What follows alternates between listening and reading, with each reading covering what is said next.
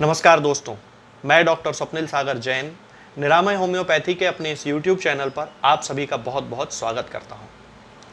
दोस्तों, आप लोगों ने अपने परिवार में ऐसे बहुत सारे लोगों को देखा होगा, जिनके की पैर की जो वेन्स होती हैं, यानी कि जिन्हें आप लोग नसें कहते हैं, वो नसें नीली पड़ जाती हैं पर्पल कलर की पड़ जाती हैं और बहुत ज़्यादा उनमें एनगॉर्जमेंट हो जाता है, फूल जाती हैं वो नसें कभी कभी उनमें इन्फ्लेमेशन हो जाता है कभी कभी बहुत ज़्यादा इचिंग होती है। ये सारी चीज़ें आपने अपनी फैमिली में किसी न किसी व्यक्ति को देखी होंगी। इस कंडीशन को दोस्तों वेरिकोज वेन कहा जाता है। तो आज मैं आपको इन्हीं वेरिकोज वेन्स के बारे में बताऊँगा कि वेरिकोज वेन्स आखिर होती क्या है, ये डेवलप क्यों होती हैं, इनके क्या क्या सिम्टम्स होते हैं और किन होम्योपैथिक दवाओं से हम वेरिकोज वेन्स को पूरी तरह से ठीक कर सकते हैं। तो चलिए दोस्तों, शुरू करते हैं। दोस्तों वेरिकोज वेन्स का मतलब होता है, मैं आपको समझा देता हूँ, एक डायग्राम के माध्यम से देखिए, इस इस चित्र को देखिए आप यहाँ पर। ये मान लीजिए कि ये हमारा पैर है, और इसमें ये जो लाइन देख रहे हैं आप, ये जो सिंगल लाइन है, ये सिंगल लाइन आपकी वेन है। अब क्या होता है दोस्तों कि ये जो वेन होती है, यहाँ से ब्लड आता है हार्ट से नीचे की ओर आर्टरी से। और वेन्स का काम होता है कि जो ब्लड यहाँ पर आया हुआ है, उस ब्लड को वापस ऊपर हार्ट में पहुंचाना है। ये इस वेन का काम है। इस काम को करने के लिए इस वेन में बहुत सारे वॉल्व्स होते हैं छोटे छोटे वॉल्व होते हैं। ये जो वॉल्व होते हैं, जब इनमें कभी वीकनेस आ जाती है या इनमें कभी कोई खराबी आ जाती है, तब ये जो ब्लड पहुँचाने की ऊपर हार्ट में इनकी जो क्षमता होती है, यानी कि हार्ट में इस ब्लड को पहुँचाने का इनका जो काम होता है, वो रिस्ट्रिक्ट होने लगता है और ब्लड यहीं पर इकट्ठा होने लगता है इसी वेन में। जब ये इस वेन में इकट्ठा होता है तो चूँकि वो डीऑक्सीजनेटेड ब्लड होता है डीऑक्सीजनेटेड ब्लड का मतलब होता है कि उसमें ऑक्सीजन नहीं होती है और ऑक्सीजन ना होने के कारण वो जो ब्लड है, वो पर्पल कलर का, नीले कलर का, हरे कलर का इस तरह से वो दिखाई देता है। तो जब उसमें वेन में ये ब्लड यहाँ पर इकट्ठा हो जाता है तो ये वेन यहाँ से फूलने लगती है। और फूलने लगती है तो वो एनगोर्जमेंट होने लगता है। अब आप इस डायग्राम को देखिए कि किस तरह से इस व्यक्ति की जो नसें हैं वो फूली हुई हैं और कितना ज़्यादा यहाँ पर ब्लड इकट्ठा हो गया है। ब्लड इकट्ठा हो जाने के कारण यहाँ पर इस वेन पर प्रेशर पड़ने लगता है और चूँकि उसकी डायलिटेशन की कैपेसिटी उसमें जितनी होती है तब तक तो वो डायलेट होती रहती है। उसके बाद वो वहाँ पर एनगोर्ज होना शुरू कर देती है और इस तरह से वो एक वेरिकोज वेन बन जाती है। तो इस कंडीशन को दोस्तों वेरिकोज वेन्स कहा जाता है। दोस्तों, अब मैं आपको बताता हूँ वेरिकोज वेन्स होने के कारण। तो इसमें सबसे पहला आता है फैमिली हिस्ट्री बहुत सारे लोग ऐसे होते हैं कि जिनके परिवार में ही वेरिकोज वेन्स होने की हिस्ट्री होती है। यानी कि उनकी पूरी फैमिली में बहुत सारे ऐसे लोग होते हैं जिनमें वेरिकोज वेन्स देखी जाती हैं। दूसरा आता है इसमें प्रेगनेंसी खास तौर से वे महिलाएँ जिनमें की प्रेगनेंसी है, उनमें बहुत ज़्यादा चांसेस होते हैं वेरिकोज वेन्स डेवलप होने के। दूसरा वे महिलाएँ जो कि मेनोपॉजल स्टेज में हैं, यानी कि जिनके मासिक धर्म खत्म होने वाले हैं रजो निवृत्ति जिसको बोलते हैं, उस कंडीशन में भी वेरिकोज वेन्स होने के चांसेस बढ़ जाते हैं क्योंकि महिलाओं के शरीर में हार्मोनल चेंजेस आते हैं और वो हार्मोनल चेंजेस उन वॉल्व्स को जाके शिथिल करते हैं, कमज़ोर बनाते हैं। इसके बाद जो लोग बहुत ज़्यादा देर तक खड़े होने के प्रोफेशन में हैं, जैसे कि ट्रैफ़िक पुलिस हो सकते हैं, कुछ दुकान वाले भी ऐसे होते हैं, जिन लोगों की दुकानें होती हैं और उन्हें काफ़ी लंबे समय तक खड़ा रहना पड़ता है। तो उन लोगों को भी वेरिकोज वेन्स होने के चांसेस बहुत ज़्यादा होते हैं। इसके अलावा बढ़ती हुई उम्र भी इसका एक प्रमुख कारण है। और ये इसलिए है क्योंकि उम्र के बढ़ने के साथ साथ हमारी जो वेन्स होती हैं, उनमें जो वॉल्व्स हैं, उन वॉल्व में कमज़ोरी आने लगती है, शिथिलता आने लगती है, जिसके कारण कि वहाँ पर वेरिकोज वेन्स डेवलप होती हैं। और अंत में आता है ओबेसिटी यानी कि जिन लोगों का वज़न बहुत ज़्यादा है, जिन लोगों को मोटापे की शिकायत है, उन लोगों में भी वेरिकोज वेन्स होने के चांसेस बहुत ज़्यादा होते हैं। अब मैं बात करता हूँ कि इसके लक्षण क्या क्या होते हैं तो मैं आपको इसके लक्षण बता देता हूँ। आप सभी लोग बड़े अच्छे से जानते होंगे कि जिस भी स्थान पर वेरिकोज वेन्स होती हैं खास तौर से ये पैरों में ही देखी जाती हैं, शरीर के दूसरे हिस्सों में भी हो जाती हैं, लेकिन पैरों में ज़्यादा देखी जाती हैं। तो आपने देखा होगा कि उस स्थान पर जो वेन्स होती हैं, वहाँ पे हिस्सा जो है वो नीला पर्पल कलर जैसा पड़ने लगता है और काला भी कभी कभी पड़ जाता है। इनलार्ज हो जाती हैं वेन्स वहाँ पर सिकुड़ जाती हैं और बड़ी बड़ी वेन्स हो जाती हैं। आप यहाँ पर देख सकते हैं इस डायग्राम में कि किस तरह से ये जो है वेरिकोज वेन्स के लक्षण होते हैं। इनमें इस तरह से बल्जिंग आ जाती है, ये दर्द करने लगती हैं। इसके आसपास के हिस्से में जलन पड़ने लगती है और इचिंग होने लगती है, यानी कि खुजली की शिकायत भी बहुत सारे लोगों को हो जाती है। इसके अलावा ये इन्फ्लेमेशन भी कभी कभी इनमें आ जाता है और बहुत ज़्यादा सिवियर कंडीशंस में इनमें से कभी ब्लीडिंग भी हो जाती है और स्किन अल्सर्स भी डेवलप हो जाते हैं।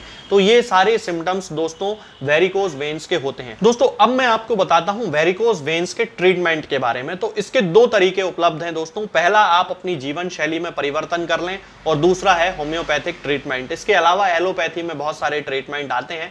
मैं उनको सजेस्ट नहीं करूँगा क्योंकि उनके और भी बहुत ज़्यादा साइड इफेक्ट्स होते हैं। तो जीवन शैली में बदलाव करने के लिए यदि आप बहुत ज़्यादा देर तक एक ही जगह पर खड़े रहते हैं तो खड़े बीच बीच में थोड़ी देर के लिए बैठ जाया करें या चलते फिरते रहा करें। लगातार खड़े होने की आदत को थोड़ा सा कम करें। इसके अलावा मोटापा यदि आपको है तो वज़न को कम करने की कोशिश करें। एक्सरसाइज ज़रूर करना चाहिए। जिन लोगों को वेरिकोज वेन्स की शिकायत है, उन लोगों को अपने पैरों को, जो पैरों का जो लेवल होता है, सोते समय उसको थोड़ा सा ऊपर करके सोना चाहिए ताकि उनका जो ब्लड है, वो हार्ट की तरफ़ जाने में बड़ी आसानी हो। इसके अलावा अपने खान पान पर भी ध्यान देना चाहिए और बाज़ार की चीज़ों की बजाय घर की बनी हुई चीज़ों का उपयोग करना चाहिए और हरी पत्तेदार सब्ज़ियाँ और विटामिन और न्यूट्रिएंट्स जिनमें बहुत ज़्यादा मात्रा में होते हैं, ऐसी चीज़ों का उपयोग हमें करना चाहिए। अब मैं आपको बताता हूँ कि हम होम्योपैथिक मेडिसिनल सिस्टम में किन दवाओं के उपयोग से वेरिकोज वेन्स को पूरी तरह से ठीक कर सकते हैं। तो इसमें सबसे पहली मेडिसिन आती है दोस्तों हेमामेलिस जी हाँ दोस्तों हेमामेलिस एक ऐसी मेडिसिन है, जिसका कि वेरिकोज वेन्स के केस में बहुत ज़्यादा यूज़ किया जाता है होम्योपैथिक मेडिसिनल सिस्टम में और उसमें बहुत ज़्यादा सक्सेस मिलती है। खास तौर से उन केसेस में जहाँ की वेरिकोज वेन्स से ब्लीडिंग होने लगती है और उस ब्लीडिंग के कारण विभिन्न प्रकार के सिम्टम्स जैसे कि सोरनेस इन्फ्लेमेशन और दर्द इस तरह के सिम्टम्स आते हैं। उस कंडीशन में हेमामेलिस थर्टी पोटेंसी का यूज़ किया जाता है दो दो बूंद, दिन में तीन बार। सीधे जीभ पर रख के। यदि ज़्यादा ब्लीडिंग होती है तो फिर मदर टिंचर का यूज़ किया जाता है दस दस बूंद, दिन में तीन बार, आधे कप या एक कप पानी में मिलाकर। इसके बाद दूसरी मेडिसिन आती है दोस्तों आर्निका। तो दोस्तों, जिन लोगों को वेरिकोज वेन की शिकायत है और उनको उस कंडीशन के कारण पैर में बहुत ज़्यादा चोट जैसा दर्द महसूस होता है, मान लीजिए ऐसा दर्द होता है जैसे उनको वहाँ पर किसी ने मारा हो, उनको कोई चोट लग गई हो, उनको कोई जख्म हो गया हो तो उस जैसा यदि दर्द होता है तो उस कंडीशन में आर्निका का यूज़ करना चाहिए। 200 पोटेंसी में दो बूंद सुबह और दो बूंद शाम को कुछ दिनों तक कंटिन्यू पेशेंट को देना चाहिए। तो आर्निका वहाँ पर वेरिकोज वेन्स को और उसके दर्द को, उन सारे सिम्टम्स को पूरी तरह से ठीक कर देती है। इसके बाद तीसरे नंबर पर मेडिसिन आती है दोस्तों पल्सेटिला बहुत ही अच्छी मेडिसिन है, होम्योपैथिक मेडिसिनल सिस्टम की, खास तौर से फीमेल जेनेटेलिया के केसेस में।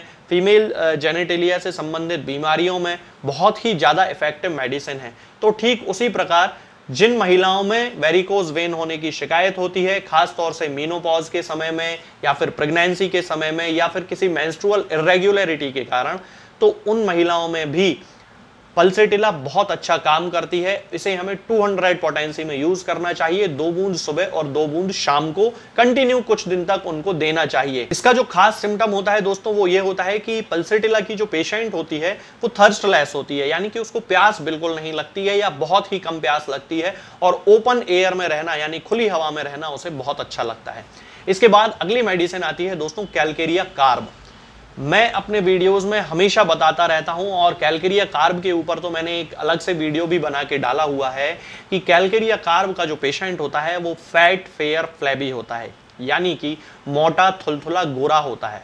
तो ओबेसिटी के कारण जिन लोगों को वेरिकोज वेन्स की शिकायत होती है, यानी कि जिन लोगों का वज़न बहुत ज़्यादा होता है और ज़्यादा वज़न के कारण उनकी बॉडी में वेरिकोज वेन्स डेवलप हो जाती हैं खास तौर से पैर में। और चूँकि उनका कलर भी थोड़ा फेयर होता है तो फेयर कलर के कारण वहाँ पर वेरिकोज वेन्स बहुत ज़्यादा दिखाई देने लगती हैं, बहुत ज़्यादा पेन भी कभी कभी उनमें होता है। तब उस कंडीशन में हमें कैलकेरिया कार्ब 200 पोटेंसी में यूज़ करना चाहिए और इसकी भी दो बूंद सुबह और दो बूंद शाम को हमें पेशेंट को कुछ दिन तक कंटिन्यू देना चाहिए। इसके बाद अगली मेडिसिन आती है दोस्तों ग्रेफाइटिस जिन लोगों में कॉन्स्टिपेशन रहता है ओबेसिटी रहती है, यानी कि मोटापा रहता है, और जिन लोगों के काफ मसल में, पैरों में बहुत ज़्यादा क्रैम्पिंग पेन होने की शिकायत होती है, यानी कि मरोड़ जैसा दर्द होता है वेरिकोज वेन्स के साथ।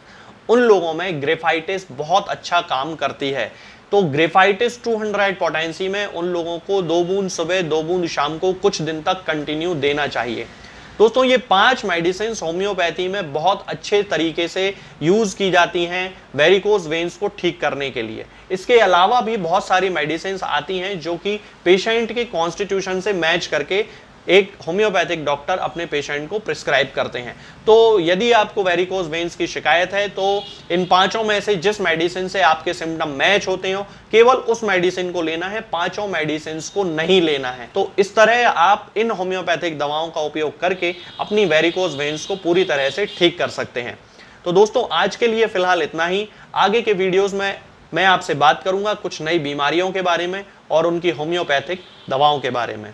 तब तक के लिए जय हिंद, जय भारत। दोस्तों, होम्योपैथिक दवाओं को खाने का सबसे अच्छा तरीका होता है कि हम हमेशा खाली पेट इन दवाओं को खाएँ। जिन दवाओं को दिन में केवल एक बार खाना है, उन्हें सुबह खाली पेट खा लेना चाहिए, मुँह में अच्छे से कुल्ला करके, गार्गल्स करके मुँह को साफ़ कर लेना चाहिए और उसके बाद हमें होम्योपैथिक दवाई खा लेना चाहिए। जिन दवाओं को दिन में दो बार या तीन बार या चार बार खाना होता है, उन दवाओं को खाली पेट खाने का मतलब होता है कि हम उन दवाओं को खाने के लगभग आधे घंटे पहले या फिर दो से ढाई घंटे बाद ही खाएँ। और उस स्थिति में भी हमारे मुँह में किसी भी वस्तु का, किसी भी चीज़ का स्वाद नहीं होना चाहिए, ना ही हमारे मुँह में किसी भी चीज़ की गंध होना चाहिए। जिससे कि ये होम्योपैथिक दवाएँ हमारे शरीर पर बहुत अच्छे तरीके से काम कर सकती हैं। तो हमें हमेशा ये ध्यान रखना है कि जब भी हम होम्योपैथिक दवा खाएँ, हमेशा खाली पेट खाएँ और हमारे मुँह में किसी भी चीज़ का स्वाद या किसी भी चीज़ की स्मेल ना हो। अब बहुत सारे लोग ये सोचते हैं कि हम कच्चा प्याज खा सकते हैं या अदरक खा सकते हैं या हींग खा सकते हैं या इलायची खा सकते हैं या नहीं। बिल्कुल, आप इन चीज़ों का इस्तेमाल कर सकते हैं। होम्योपैथिक दवाओं को खाते समय आप इन सभी चीज़ों को बड़ी आसानी से खा सकते हैं। बस याद ये रखना है कि जब भी आप होम्योपैथिक दवा खाएँ, इनमें से किसी भी वस्तु का, किसी भी चीज़ का स्वाद आपके मुँह में ना हो। यानी कि जब भी आप इन्हें खाएँ तो इनके खाने से या तो आधे घंटे पहले होम्योपैथिक दवा खा लें, या फिर इन्हें खाने के दो ढाई घंटे बाद, जब कि आपने मुँह में अच्छे से कुल्ला कर लिया हो, अच्छे से गार्गल्स कर लिए हो, तब इन होम्योपैथिक दवाओं को खाएँ तो आपको हमेशा होम्योपैथी के सबसे अच्छे रिज़ल्ट देखने को मिलेंगे। लोग गलती यही कर देते हैं कि वो प्याज खाना छोड़ देते हैं, कच्चा प्याज, लहसुन, अदरक, हींग सब खाना छोड़ देते हैं, लेकिन फिर भी उनको मुँह में सफ़ाई ना होने के कारण होम्योपैथिक दवाओं का अच्छा रिज़ल्ट देखने को नहीं मिलता है। ये होम्योपैथिक दवाएँ आपको किसी भी ऑनलाइन फार्मेसी पर या आपके घर के नज़दीक किसी भी होम्योपैथिक मेडिकल स्टोर पर बड़ी ही आसानी से उपलब्ध हो जाएँगी। ये दवाएँ हर होम्योपैथिक फार्मेसी पे उपलब्ध होती हैं, हर ऑनलाइन फार्मेसी पर उपलब्ध होती हैं, इसलिए आप वहाँ से इन दवाओं को प्राप्त कर सकते हैं। निरामय होम्योपैथी क्लिनिक से ना ही किसी मरीज़ को कोई दवा बेची जाती है और ना ही कोई दवा भेजी जाती है। इसलिए अपने नजदीकी होम्योपैथिक मेडिकल स्टोर या ऑनलाइन फार्मेसी से ही इन दवाओं को प्राप्त करें।